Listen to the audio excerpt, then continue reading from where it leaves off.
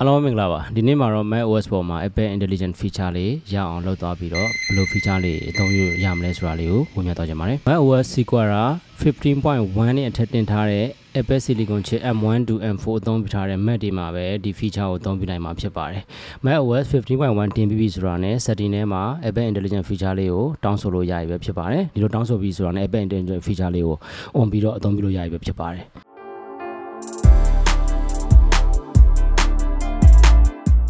Apple Intelligent feature ရပြီဆိုတော့ ਨੇ ခါတိုင်း Siri icon လေးက Apple Intelligent icon လေးပြောင်းသွားပြီးတော့ဒီမှာစာရိုက်ပြီးတော့ခိုင်းမယ်ဆိုလဲခိုင်းလို့ရမှာဖြစ်ပါတယ်။ကိုမိထားတဲ့ result ကိုလည်းဒီ screen ရဲ့ကြိုက်တဲ့နေရာမှာဆွဲထားပြီးတော့ဆွဲတဲ့နေရာမှာပေါ်နေမှာဖြစ်ပါတယ်။အဲ့တော့ကိုလက်ရှိလုပ်တဲ့အလုပ်ဒီပေါ်မှာလည်းဒီဖြာထားတဲ့ result ကိုကြည့်ပြီးတော့မှ apply လုပ်လို့ရမှာဖြစ်ပါတယ်။ အခု Apple Intelligent feature ကတော့ beta version ဖြစ်တဲ့အတွက်တချို့ feature လေးတွေတော့ပိတ်ထားအောင်မှာဖြစ်ပါတယ်ဒီထဲမှာအခုအသုံးပြုလို့ရနေတဲ့ writing tools လေးကတော့တော်တော်လေးအသုံးဝင်ပါတယ် macOS ထဲမှာရှိတဲ့ဘယ် platform မှာရှိတဲ့စာအုပ်မဆိုဆက်လက်လိုက်တာနဲ့ intelligent နဲ့ writing tools လေးကိုအသုံးပြုလို့ရမှာဖြစ်ပါတယ် proofread ဆိုတာတော့ကိုယ့်ရဲ့ရေးထားတဲ့စာတွေကို grammar စစ်ပေးတာဖြစ်ပါတယ်ကျွန်တော်စမ်းကြည့်ရတော့မြန်မာ language တွေကိုတော့ support မလုပ်သေးပါဘူး English language တွေဆိုရင်တော့ကိုရေးထားတဲ့အားတွေကို friendly ဖြစ်အောင်ပုံမှန်ပေါ်ပါပုံစံမျိုးရေးတာမျိုး professional လိုမျိုးတကယ်ကိုအဲ grammar မှန်မှန်နဲ့ရေးတာမျိုးစသဖြင့်ဒီရေးထားတဲ့ဟာတွေကိုပြန်ပြီးစစ်ခိုင်းလို့ရပါတယ်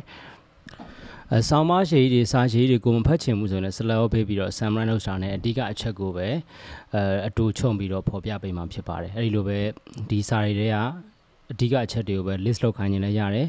ဒီစာတွေတဲ့ဟိုပဲအကုန်လုံးမှာတကယ်လို့ table ပုံစံမျိုးနဲ့ဖွဲ့စည်းပုံလုပ်ချင်တယ်ဆိုရင်ရေးထားတဲ့ပုံစံလုပ်ချင်တယ်ဆိုရင်လည်းလုပ်ခိုင်းလို့ရတဲ့အတွက်ဒါဒီဟာလေးကတော့အရန်ကိုမိုက်တဲ့ feature လေးဖြစ်ပါတယ် rewriting tools ကိုပဲအသုံးပြုပြီးတော့ email အသုံးပြုတဲ့လူတွေဆိုရင်လည်းကိုယ့်ရဲ့ email အရှိကြီးတွေကိုမဖတ်ချင်လို့ summarize လုပ်ပေးရတာမျိုး reply ပြန်ရင်လည်း auto ရေးခိုင်းပြီးတော့မှအတူချုပ်ရေးခိုင်းပြီး secretary မျိုးလည်းလုပ်ခိုင်းလို့ရတော့မှာဖြစ်ပါတယ်အဲနောက်ဆုံး Safari browser ပေါ်နေပြီးတော့ reader mode ကိုဖွင့်ပြီးတော့ website ပေါ် article တွေကိုဖတ်မယ်ဆိုရင်တော့အရှိကြီးတွေမဖတ်တော့ဘဲနဲ့ summary ချုပ်ခိုင်းပြီးတော့မှအတူချုပ်အချက်လက်တွေအဓိကအချက်လက်တွေကိုပဲ summarize လုပ်ခိုင်းလို့ရမှာဖြစ်ပါတယ်အဲနောက်ထပ် feature တစ်ခုကတော့ဒီ Safari browser မှာပဲကိုကကြည့်နေတဲ့ website မှာ article တွေထဲမှာ distraction ဖြစ်စေတဲ့ကို့အမြင်ကွင်းကိုအနောက်ရှက်ဖြစ်စေတဲ့ကြော်ညာတွေဓာတ်ပုံတွေရှိခဲ့မယ်ဆိုရင်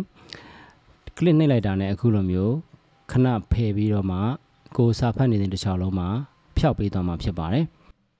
နောက်တစ်ခုတော့ Apple ရန်ကိုသုံးပြီးတော့မှကိုယ့်ရဲ့ဓာတ်ပုံထဲမှာမလိုချင်တဲ့အရာဝတ္ထုတွေကိုဖျက်ပေးတာဖြစ်ပါတယ်ကိုဖျက်ချင်တဲ့ဓာတ်ပုံကို photo application ထဲကိုဆွဲထည့်ပြီးတော့ clean app လို့နှိပ်လိုက်တာနဲ့အဲကိုဖြတ်လို့တဲ့ object လေးတွေအလိုတကူဖြတ်လို့ရမယ့်ဟာတွေဆိုအခုလို highlight လေး link ပေးနေမှာဖြစ်ပါတယ်ဒီ object လေးတွေကို